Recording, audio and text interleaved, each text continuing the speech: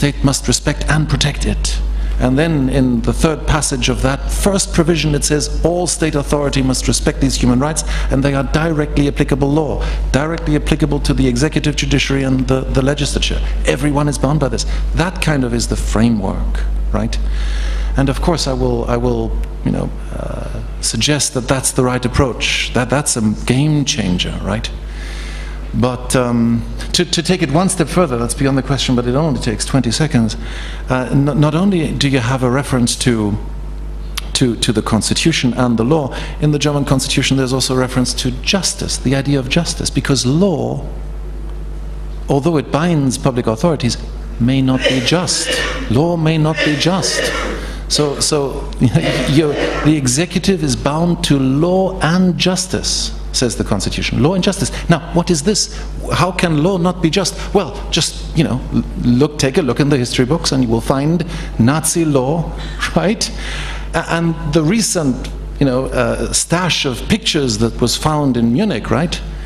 Uh, a lot of that, I understand, was you know, based on legal transactions because the Nazi state made sure there were laws in place to deal with these questions. So law can be terribly unjust. That is why the constitution in Germany says the executive is bound to law and justice. So that, that transcends the state, that transcends the legislator, it transcends the constitution because there's an idea of justice that lies beyond all of this. And it can be invoked by the constitutional court as a standard because law must need needs to be just. I mean, that's taking it a step too far maybe, but at least bind all state authority to the constitution. That would be a good first step. I had three people who wanted to ask questions, but in the interest of the third uh, paper, the third speaker, I would now give the floor to him. Ekuru Aukot, who not only uh, was involved in the drafting of the constitution, but also in the enforcement of it. And I, I, actually hope that he will speak also on the implementation and his role in the commission uh, for electoral and independent electoral and uh, okay, uh, I'm going to try and be very brief, but I guess I just want to ask one big question. Can Egypt learn from the Kenyan constitution making process? Because, I mean, you've spoken about the product. Uh, Yoga has ably spoken about the product of the, of, of the Egyptian process, and did, so did uh, David. But I want to go to the fundamentals, so that the product we are speaking about ought to be, it is a product of some process. And therefore, that's the question I want to ask. And I know why I'm asking uh, this question, because as I was just asking um, um, Gianluca, this is, I think, your sixth president since the revolution, right?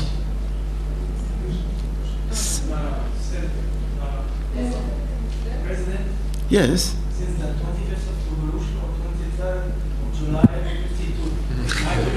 Okay. All right. Uh, Okay, fine. But the question I want to ask basically is that, you know, can you learn anything from our process? Because our process has been described as having been successful, and I think there are certain things that made our process in Kenya successful. And I just want to share with you my experience, and perhaps you can try and look at our experience as Kenya in, the, in your context, and then perhaps we can have questions. But I want to begin from a quote from Frantz Fanon that said, each generation must discover its mission, fulfill it or betray it. I think the, the Egyptian society today can be looked at as that generation that want to discover its mission. Probably that was triggered the revolution. Uh, I know our constitution writing making process was triggered by the 2007-2008 post-election violence in Kenya. And somehow it gave us a reason to begin to rethink about our society you also began rethinking the Egyptian uh, society from the time you decided, you know, you've had enough of these, you know, um, overstayers in political power. Uh, I'm sure the same thing could be said of Tunisia and, and, and other countries. Now, I want to begin by preliminary concerns when it comes to writing the Constitution. If you are to define yourself as part of the greater civil society, that, that wants change in society.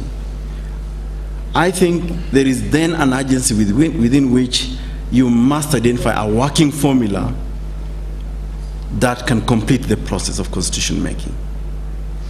And therefore, the question then is whose constitution are we writing? Are we participating in the production of a constitution that we can identify with? It should be our constitution, our business should not be about criticizing those who are writing the constitution, as the tendency mostly is with civil society groups, academics like yourselves, scholars, and everybody. I think time is about to get ourselves in there and say we want to participate in the writing of the constitution. And that, in a way, is one lesson that we try to, do in Kenya. And therefore, you must be included in the process. I hear a lot of criticism about C50, C10, and that. But it's like we we become curious onlookers and bystanders in the process of making the constitution. Um, and therefore, for the youth, as I started by the press, I think the question we ask ourselves in Kenya is we've been always told that you are tomorrow's leaders, but this tomorrow doesn't seem to come. so we decided we must arrest this tomorrow and make this tomorrow today. And that today is in the process of making this constitution. Now, having said that, I want to share with you some background thoughts that went into our reform process. Because essentially, you're actually undergoing reform. People call it review, you can call it writing of the constitution, but it's essentially about reform. The first question, the first concern, I mean, background thought to us was there has been a failure or there is a need to find a writing, a winning formula in completing the constitution making process or even institutional reform. Because we are not writing a constitution in the abstract. It's about the kind of institutions that we want, institutions that resonate with us. So therefore, we must find a formula on how to create those institutions within the Constitution.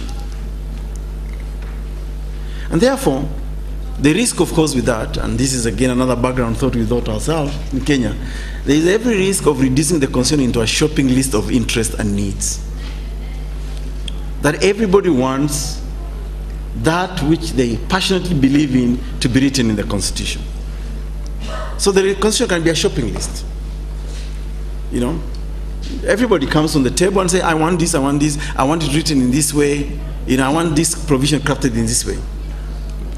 But what I want to remind you is that a constitution is a negotiated agreement. It's a negotiated instrument. It's a political instrument. So you must come on the, on the, on the writing, on the writing table with, with issues that you want negotiated in. It shouldn't be, it's either my way or hit the highway. Because otherwise you may, not, you may end up with no constitution at all. Now, there is also the need to confront fear for change. I think a lot of people, and I, I, saw this when, when we were in Tunisia, for example, and I've seen this in Zimbabwe, I've seen this in Malawi and Zambia when I, was asked to speak about them. There seems to be an inherent fear for change. People do, do not seem to know, okay, what if we made these proposals? How will society look like? I gathered from Tunisia is that the process, the way the constitution was being written, it was as if it was written with Ben Ali in mind.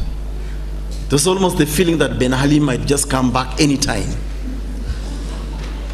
I think there is an overbearing fear when we are writing the constitution, and that change. I think people need to free themselves from saying, and that's the kind of paradigm shift that Yogo was talking about. Looking at the 1971 Constitution, 2012, 2013, is there really a shift? Is there really change? So we must exercise that demon of fear when you were writing the constitution. But for us in Kenya, the biggest question was this, and we, you know, let's be frank here, we must be brutally frank, that there are many elephants in the room, but I think the biggest of them all was the executive. And the question was, how do you tame the executive in a constitution making process? And probably that's why in Kenya, I, I could, it could be the only constitution again in the world, I stand to be corrected, that has a whole chapter on what's called leadership and integrity. We actually prescribe the character and type of leader we want in Kenya. Because we said, you know what?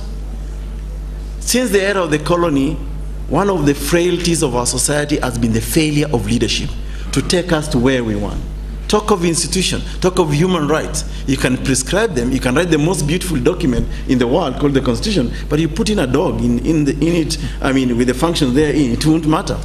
The dog might probably just end up barking and not living the letter and the spirit of the Constitution. So really it's about institutional, but also it's about the people who are given the greater responsibility within a constitutional context. So we said in Kenya, we, will, we, we must tame the executive. But I hope we have time, I'll try to demonstrate to you how we brought in provisions in our constitution, which I would like you to compare with yours and see whether, actually, have we tamed the executive? Because even looking at the context of the fact that you've had six presidents, I think, ever since, uh, that was my last count, I think I, I, don't even know the name of the current president, but I, I know the last one was Mursi, yeah? Okay. Okay. anyway, I, I make the point. But, but how should the process be like? I think Egyptians, just like Kenyans, you have a constitutional moment and probably opportunity to write the constitution. What's going on right now in your country is that moment that you need. I think you need to grab it. In the context of Kenya, we talked about the post-election violence. There was fatigue about the new constitution. There was a lot of dialogue about it. So it is that moment, in my view, that I think you have, the, you, you have and you must grab it. Now, again, having said that, you cannot really reinvent the wheel. If you're talking about checks and balances, democratic principles, human rights. You know, I'm not saying you cut and paste what has happened in Kenya, in Germany, in South Africa, and other jurisdictions, but I think you also now need to ask yourself, do we need to prolong this discourse on what are the obvious principles of constitutionalism? And in Kenya, we were bold enough to say, you know what, South Africa, you wrote a constitution. You know, Uganda and the rest. Let's discuss how you crafted these provisions in the constitution. Um, and therefore, the idea was find a formula that does not necessarily compromise the process, but balances interests and negotiates people's feelings into the constitution. Now, the other question that we asked ourselves in Kenya was, can everyone really write a constitution? Given an opportunity, can everyone write a constitution? Or can anyone reform an institution? So there, therefore, there seems to be a fiduciary duty on those who are given the opportunity to write a constitution to think about society, to think about the vulnerable, the marginalized, you know, the minority groups. So that, you know, if you went to my village back in Turkana, my native land where I came from, and went to my grandmother who has never been to anybody's classroom, formal uh, classroom, and asked her, you know, write a constitution, she wouldn't know what you're talking about, even if you translated it in her mother tongue. I'm sure the same situation exists in, in Egypt. And therefore, there ought to be some sort of responsibility over others, over society. Um, therefore, a different type of dialogue must be hatched. Now, we went into institutional reform because we felt some of the problems in our society was about the institution that serve us as a people, including the constitution itself as an institution, the executive as an institution, parliament as an institution, the judiciary as an institution. And we asked, what's wrong with our institution? And we took a diagnostic approach to our institution. So as we re review the 1971, 2012, 2013, have you done a diagnostic analysis of this institution and said, this is the malady within the executive? This is the malady within the, the legislature. And I think as an academic institution, you really must do that and offer your views to the committee.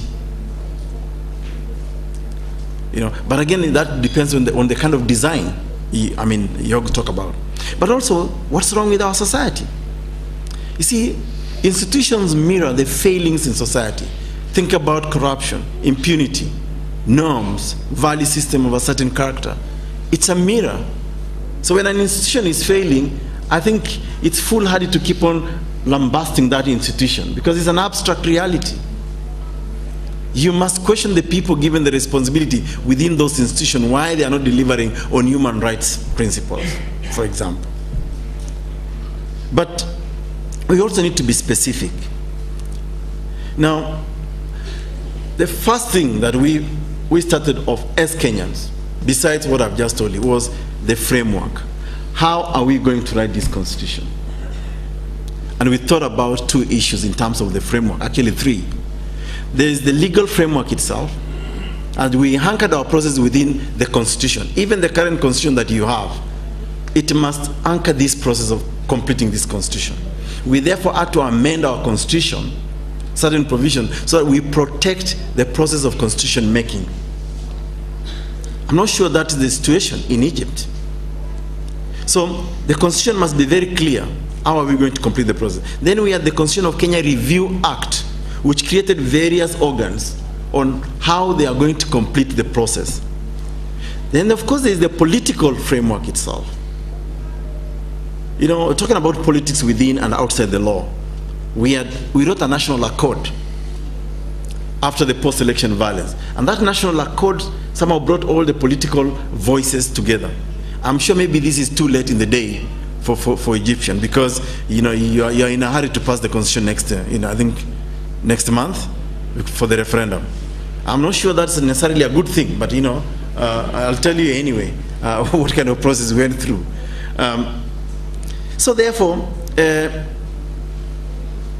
so we, we took a reality check as a country. I mean, you know, as I was walking here and walking through Tahrir and saying, wow, I'm actually almost on holy grounds. This is where the revolution started. So we took a reality check. I'm not sure the assembling at Tahrir Square is in itself a reality, a reality check on the, on, the, on the Egyptian society. We probably need to go beyond that. And what are the real terms of references for now writing the constitution in, in, in Egypt? So that's one major point, the framework. And if I have time, I'll take you through the review, the Review Act of 2008 and the timelines therein in writing the constitution. So I'll, I'll skip that. And then there was a whole process related to the committee of experts. Um, but I think what is most important for me is to say, what were the organs of the review? I keep on asking myself this question. How is the C50, how was the C50 appointed? How was the C10 appointed? How representative are they? Let me share with you an example of how our context was. In, in the Constitution of Kenya Review Act of 2008, there were four main organs of the review. There was the Committee of Experts, where I was, you know, um, very much involved in. We were basically the drivers, and we could reject any proposal from the political class, especially if we thought it was unreasonable. But we also wanted to be protected as a committee. Our independence was assured as a committee of experts. And that was anchored in the law and the constitution, as I said, in a framework. Then there was the Parliamentary Select Committee of Parliament. We will write the constitution or draft, we'll send it to them, then they have a time frame within which to look at it so that they don't just politically with it, send us back with their comments, and the constitution required that you must have written reason, rationale why you made certain proposals. Now, I've not seen anything like that in the, in the Egyptian process. Proposals are made, but it's not accompanied by any report.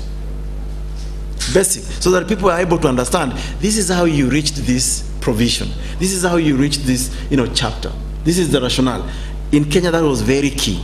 If you don't give reasons, I'm sorry. For example, our politicians described Senate as a lower house. And we told them, why, wait a minute, where on earth have you ever had Senate described as a lower house?